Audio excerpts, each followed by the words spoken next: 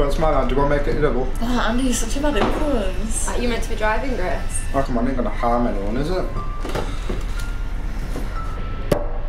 Are you, are you trying to be alright to drive, Grace? yeah, yeah, I'm, I'm gonna be fine.